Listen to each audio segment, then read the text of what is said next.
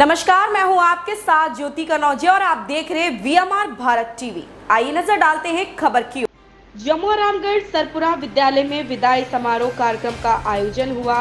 पंचायत समिति आंधी क्षेत्र के राजकीय माध्यमिक विद्यालय सरपुरा में वरिष्ठ अध्यापक रामकिशन मीणा का विदाई समारोह आयोजित किया गया।